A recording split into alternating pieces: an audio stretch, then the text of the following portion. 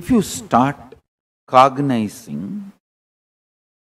the element of consciousness in you,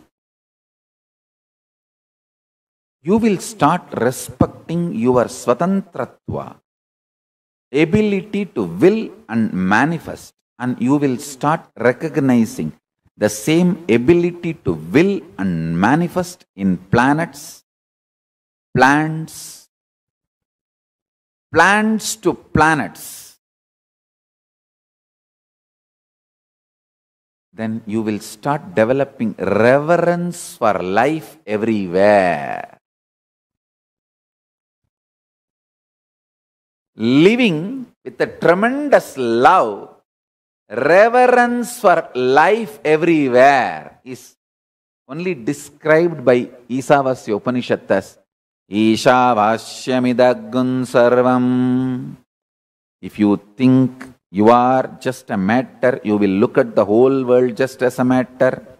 If you realize you are consciousness, then you will understand the whole thing which exists as consciousness. ईशावास्यमिदग्गुन् सर्वम् यत्किञ्च जगत्याञ्जगद् तेन त्यक्तेन भुञ्जीतामाकृतः कस्य स्विद्दनम् कुर्वन्नेवेगजिजीविषेच्च दग्समाः एवं द्वयि नान्यतेतोऽस्ति न कर्म लिप्यते Listen. First Upanishad declares whatever exists is consciousness. Then they say, by not stealing, by renouncing, enjoy. Means, listen carefully. Everyone's intention and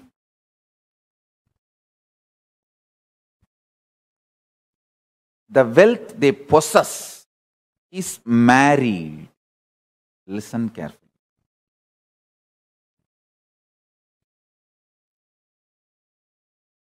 Listen. In Hindu tradition, the yajna, the sacred action you do to manifest the higher states, whether in wealth or health or to have a child, anything you want to manifest, you can manifest through yajna. That sacred action, kriya, is considered to be the male, yajna purusha. And dana given, wealth given with yajna, that wealth dana is considered female, stri. When this male and female join together, the phala, result, child is born. So, the sacred kriya and the dana allotted both are married together. They always stay together. The intention and the wealth dedicated to it both are married.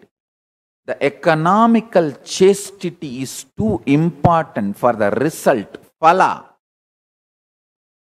child to be born. Listen. This is one of the most important economic principle of Kailasa. intention is married to the wealth forever. இஞ்சி வாங்க கொடுத்த பணத்தில் சுக்கு வாங்காதே. The money given to buy ginger don't use it for dry ginger that is economic chastity of kailasa. That economic chastity evolves from this principle the sacred action it's basically sacred intention. Intention of the yajna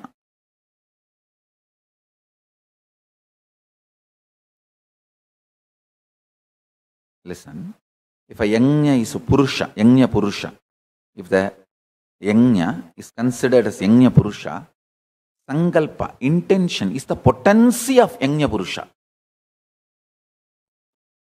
So the potency of Yajna Purusha, intention, and the dana given for that Yajna, both are married. The chastity, absolute exclusivity and chastity between these two is important for the result, phala, the child to be born.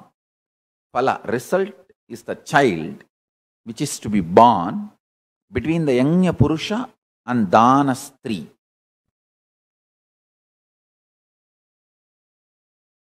Dana is considered as Kanya, Stri. Yajna is considered as the Purusha. Sankalpa of the Satya Sankalpa of the is the potency of Purusha. Only if there is a chastity between the dana given and the intention, the phala, child is born, result is manifested. This is one of the most important economic principle of Kailasa.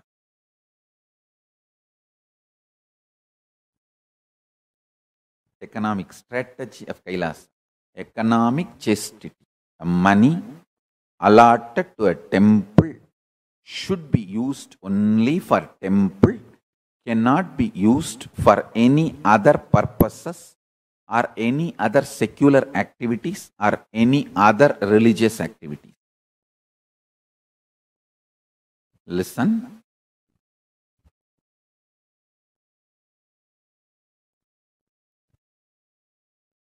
If a money is allotted to temple, that money cannot be taken and used for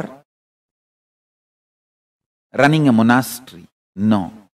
If a money is allotted, that means the donor intends this dana for a monastery, you can't use that money for running a temple. If the dana is intended for conducting certain celebrations, utsavas, rituals in temple, it cannot be used for any other utsavas, rituals, or any other unintended purposes. Intention and dana is married eternally in Hinduism. So all Hindu wealth should be handled only with the Hindu economy policies, not with secular or any other religious, other religions' economy policies. The secular economic policies has no right to enter into Hindu wealth or handling of the Hindu wealth. At least in Kailasa, let us follow this principle of economic chastity.